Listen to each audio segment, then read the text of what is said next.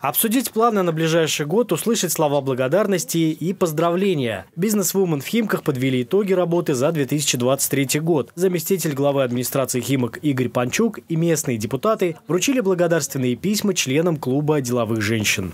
И когда вот эти вот хрупкие, красивые, симпатичные девчонки, но тем не менее они деловые, и всегда они а, в бизнес-эффекте а, всегда составляют экономическую а, долю нашего городского округа Химки, мне это приятно как руководитель торгово-промышленной палаты.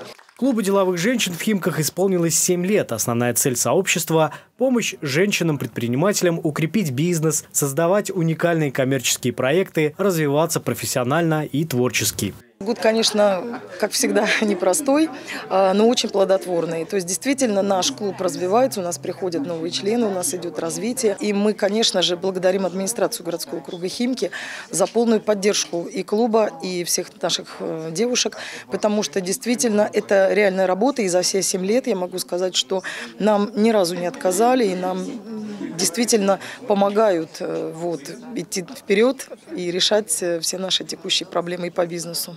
Добавим, что в числе участниц клуба представительницы бизнеса, искусства и политики. Аналогичные клубы работают в разных уголках России, в том числе в Краснодаре, в Казани, Нижнем Новгороде и Санкт-Петербурге.